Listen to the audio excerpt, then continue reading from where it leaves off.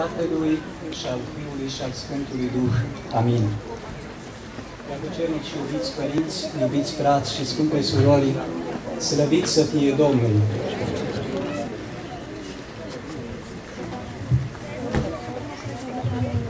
Aseară, în al Sfințitul nostru Părinte Mitropolit mi-a făcut o retrospectivă minunată, luminoasă, despre duminicile acestea deosebite din perioada Pentecostarului, adică din această perioadă de la din noaptea învierii Domnului și până la ziua înălțării, până la ziua cinzecimii. Sigur, în care în preasfinția sa ne-a vorbit atât de minunat, dogmatic, moral și liturgic,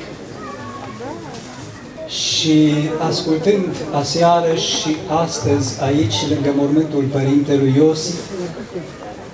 cuvântările minunate ale părinților și fraților noștri dragi,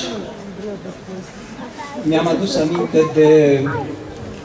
minunea pe care ne-o relatează Evanghelia de astăzi, care s-a petrecut în urmă cu mai bine de 2000 de ani în Ierusalim și nu știm cu ei, cu Sfinții Apostoli sau cu cei care îi ascultau pe ei. În al Preasfințitul spunea aseară că efectul pogorârii Duhului Sfânt a fost îmbogățirea spirituală a ucenicilor, dar uh,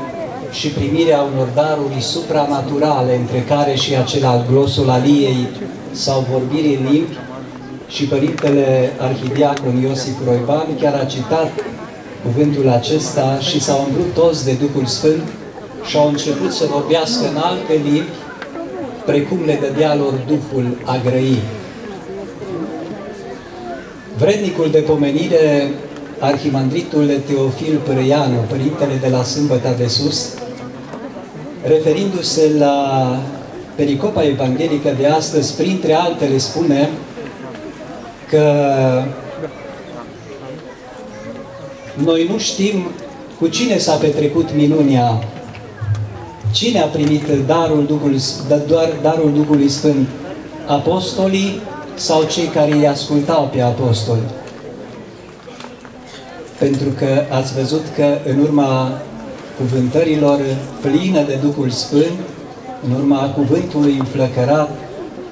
al Sfântului Apostol Petru s-au convertit la credința creștină 3000 de suflete. Și Părintele spunea că nu știm cu cine s-a petrecut minunia. Ascultând cuvântul și uitându-mă peste frățiile voastre, am văzut pe mulți frați, pe multe surori, sub copaci, sub umbrelă, în timp ce frații noștri vorbeau, curgându-le multe lacrimi din ochi și adeverind din cap, adică a fost de acord și au asumat ceea ce frații spuneau de aici, de la microfon. Dovadă că Duhul Sfânt care a grăit prin frați, a grăit pe limba lor, a grăit pentru starea sufletului lor și tocmai de aceea frățiile lor adevereau din cap și vărsau lacrimi și nu numai prin cuvânt, ci prin toate cântările și poeziile. Mai înainte l-am auzit pe fratele Petrică că a trebuit să schimbe cuvântul în urma poeziei minunate rostite de sora Silvia, cu care iarăși Domnul a săvârșit o minune. Pentru că timpul este înaintat, vreau să mă opresc aici și să îndemnăm pe toți cei care au simțit că astăzi Duhul lui Dumnezeu le-a grăit prin frați pe limba lor, pentru starea sufletului lor, chiar multe suflete și la mărturisire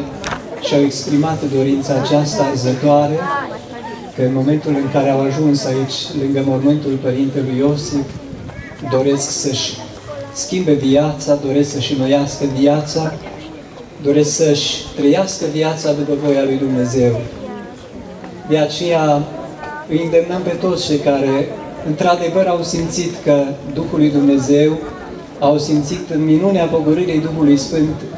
în mintea și în inima lor pentru a le preface, pentru a le primeni, pentru a le schimba, să vină aici în față și cum am ascultat minunata cântare de mai înainte de predare, de angajare, de chemare la predarea vieții în slujba Domnului, să vină aici și să-și predea viața, să ia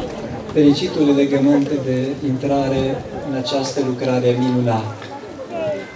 Îi așteptăm, mai cântăm o cântare și în timpul cântării îi așteptăm